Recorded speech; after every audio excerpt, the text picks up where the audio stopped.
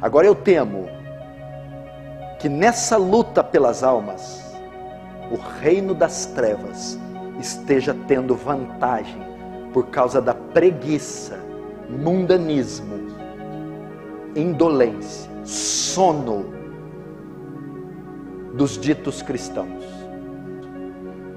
Enquanto os filhos do inferno não dormem, não comem, trabalham 24 horas para corromper, matar, destruir, assassinar, estuprar, ultrajar, corromper, não descansam, não dormem, não comem, estão concentrados, centrados em uma missão: promover o mal, o engano, saquear e enviar ao inferno.